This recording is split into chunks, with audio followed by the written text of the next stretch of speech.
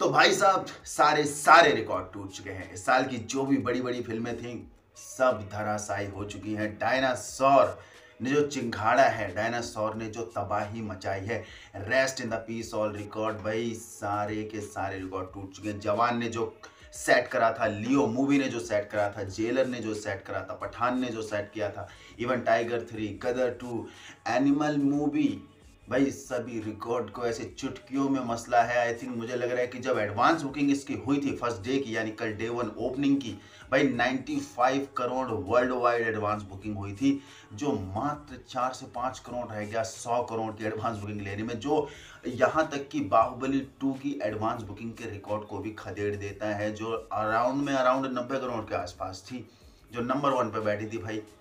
प्रभास एक ऐसे एक लौते स्टार हैं यार जो जिनके सामने ये रिकॉर्ड्स बिल्कुल मायने नहीं रखते। ये रिकॉर्ड तोड़ने नहीं आते, ये रिकॉर्ड क्रिएट करने आते हैं। लाइक वही वाला सीन हो गया जैसे बॉलीवुड में शाहरुख खान, भाई ये रिकॉर्ड तोड़ने नहीं रिकॉर्ड क्रिएट करने आते हैं। बॉलीवुड में ऐसे बड़े बड़े रिकॉर्ड सेट किए, जवान पठान से एज सेम भाई सालार में प्रभास ने जो रिकॉर्ड सेट करे हैं, भाई, मुझे नहीं लगता कि ये आने वाले टाइम पे कभी टूटने वाले हैं। तो सभी चीज़ों पर बात करेंगे। फ़र्स्ट डे कैसे, क्या ऑक्यूपेंसी रही है, कितना कलेक्शन किया है, कितना ओवरसीज से आया, कितना वर्ल्ड वाइड आया, कितना नेट कलेक्शन कितना और भी जगह से कर रखा है। और आज डे टू की एडवांस बुकिंग कैसी है? आज क्या ग्रोथ डाउन हुई है या फिर हाई हुई है? जो भी होगा, सभी चीज़ों पर एक करके नज़र मारेंगे। क्या करना है? वीडियो को एक लाइक नया हो तो चैनल को सब्सक्राइब ज़रूर करना है। तो चलिए शुरू करते हैं।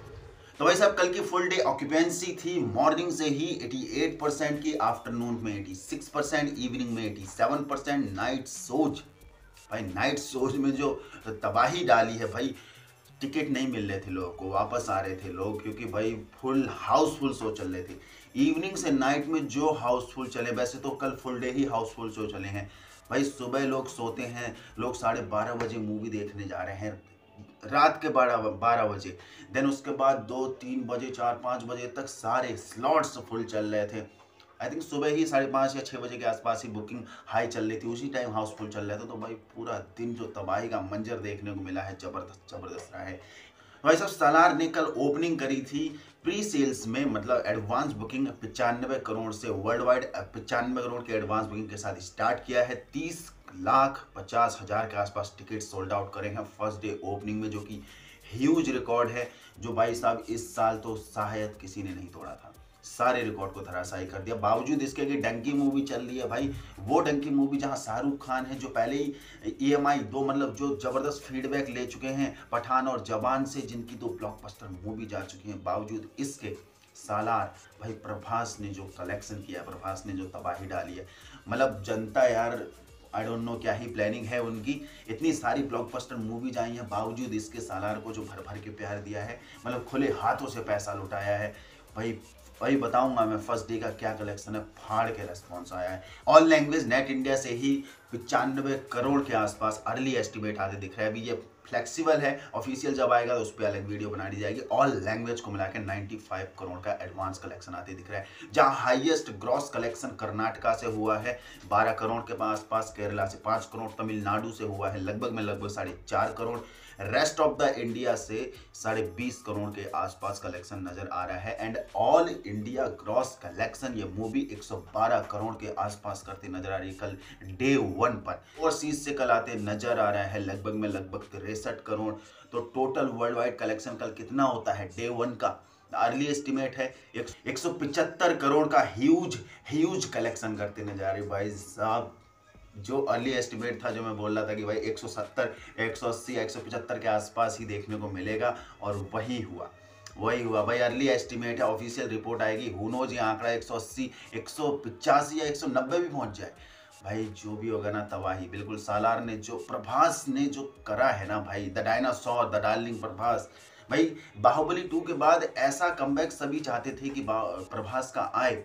और यस सालार में वो करेक्टर देखने को मिला, सालार में हमें वही प्रभास देखने को मिला, जो हमें बाहुबली टू में देखने को मिला था, वो राउडी वाला प्रभास। भाई, एक मार रहा है तो सारे सारे बिखर जा रहे हैं। सेम चीज़ सालार में होने को, देखने को मिली है। भाई, मज़ा आ गया। 175 करोड़ डे वन का कलेक्शन मुद्दे की बात पर आते हैं कि आज डे टू में क्या रुझान है भाई? आज क्या हालत है मूवी की? तो आज भाई साहब डाउन हो चुका है, होता है, यही है। अक्सर यही होता है कि साउथ की मूवी में फ़र्स्ट डे अगर इनकम हाई जाती है फ़र्स्ट डे ओपनिंग हाई रहती है तो सेकंड डे डाउन हो जाता है। वो भी छोटा मोटा नहीं फोर्टी फिफ्टी परसेंट का डाउनमेंट देखने को मिलता है। लगभग एडवांस बुकिंग में आज 19 करोड़ 70 लाख का कलेक्शन आते नज़र आ रहा है, जो कि बहुत नीचे आ चुकी है ग्रोथ।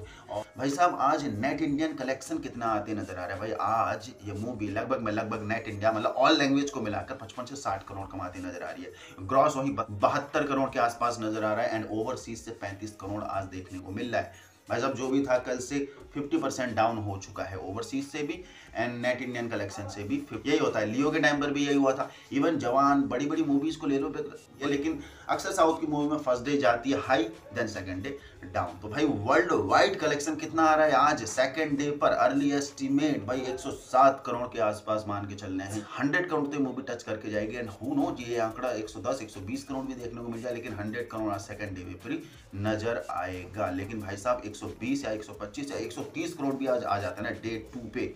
मेरेकली ओवरसीज से ज़बरदस्त रिस्पॉन्स मिल गया, क्योंकि ओवरसीज का डेटा कवरअप करना इतना हलवा नहीं है, क्योंकि भाई बहुत फ्लेक्सिबल होता है, बहुत फ्लेक्सिबल होता है। अगर डे टू पे आ जाता है तो भाई दो ही दिन में ये मूवी 300 करोड़ कंप्लीट कर लेगी, जो कि ह्यूज कलेक्शन है भाई।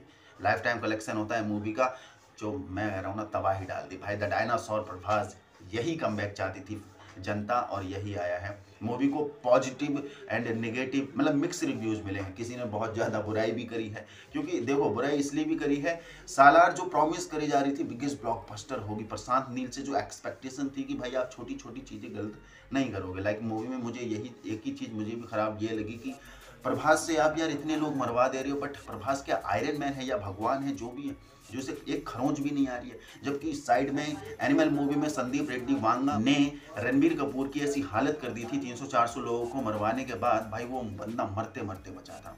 तो वो रियलिटी पे फोकस किया था। यही चीज़ एक मेरे को कमी लगी, जहाँ पर थोड़ा सा बीजीएम में भी थोड़ा हल्का फुल्का भय भय सुनाई दिया।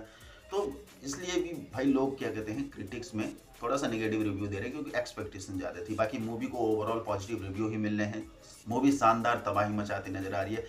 तो भाई पहले दो दिन में आज ये मूवी वर्ल्ड वाइड दो सौ बयासी करोड़ के आंकड़े को टच करते नज़र आ रही है भाई। ह्यूज कलेक्शन है यार प्रभास के लिए ऐसा सॉलिड सिनेरियो कमबैक भाई बाहुबली टू के बाद नहीं था। चाहे आप राधे श्याम ले लो, चाहे आप आदिपुर आदिपुर तो बहुत ही गंदी ट्रॉल हुई थी मूवी बावजूद इसके यार, इस मूवी को, प्रभास को मतलब जनता ने जो ट्रस्ट बना के रखा और भाई सॉलिड है। आप नज़र रिज़ल्ट देख ही सकते हो, क्या तबाही मचाई है। तो क्या होता है, क्या नहीं होता है, आप लोगों ने मूवी देख लिया एक्सपीरियंस कैसा है अगर देख लिया तो। मिलते अगली वीडियो में। जय हिंद।